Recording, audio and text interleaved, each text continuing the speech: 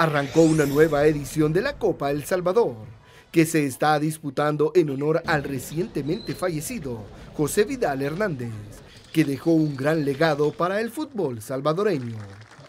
Y dedicar también el triunfo al, al finado licenciado Vidal, que, que siempre estuvo con nosotros. Sabemos que él ha sido un factor muy importante para que Santa Tecla hoy esté donde está. Pero yo sé que él se está gozando ahí arriba de este triunfo.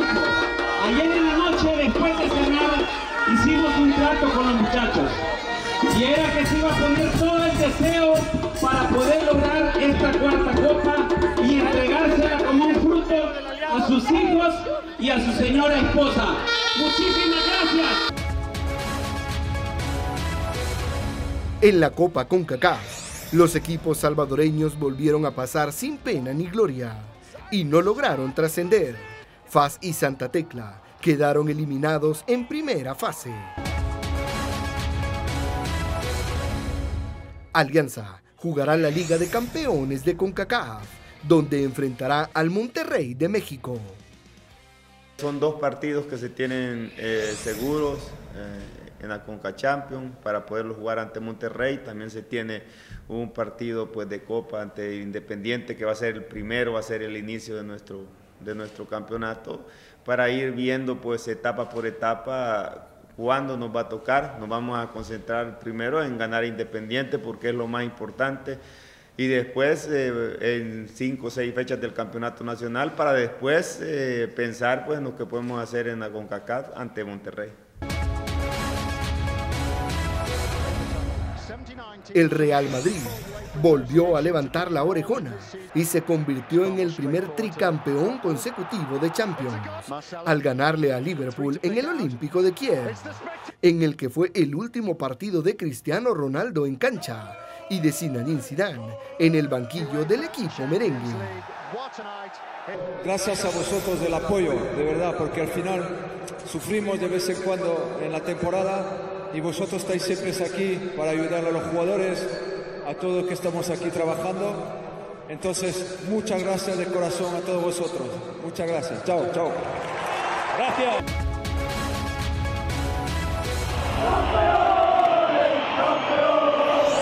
En España, el Barcelona se coronó campeón invicto a falta de cuatro partidos para el final de la Liga de las Estrellas. Muy feliz, mucha alegría por conseguir eh, esta liga. Eh, sabemos lo, lo, complicado que es ganar un, una liga, por eso hay que eh, valorarlo, disfrutarlo y, y, festejarlo nosotros y con, con toda la gente que merecido lo tenemos. Andrés Iniesta levanta la copa que acredita al Barça como campeón. La Copa del Rey también fue para el Barcelona, que goleó en la final al Sevilla. Andrés Iniesta dejó sus últimas pinceladas antes de retirarse del equipo catalán. En Italia, la Juventus se consagró campeón y consiguió su séptimo escudeto consecutivo en una férrea pelea con el Napoli. En Inglaterra, el Manchester City se coronó campeón ante el inesperado descalabro del Manchester United, que perdió ante el último lugar de la Premier y le dio la corona a los Citizens. La final de finales de la Copa Libertadores se la llevó River Plate, que derrotó 3 a 1 a Boca Juniors en el estadio Santiago Bernabéu.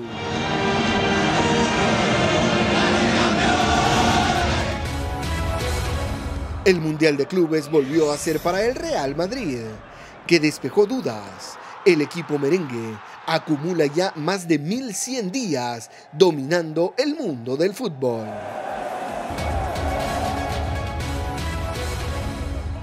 Los Medias Rojas de Boston casi barrieron la Serie Mundial ante los Dodgers y terminaron celebrando el Clásico de Otoño en Los Ángeles. En la NBA, los Golden State Warriors barrieron a los Cleveland Cavaliers para coronarse como campeones del mejor baloncesto del mundo por segunda temporada consecutiva. Lewis Hamilton se coronó campeón del mundo de la Fórmula 1 por quinta vez En el Gran Premio de México se consagró como el corredor británico más ganador de la historia. Fernando Alonso le dijo adiós en Jazz Marina a la máxima categoría del automovilismo. El español Marc Márquez se quedó nuevamente con la categoría reina del motociclismo por quinto año consecutivo.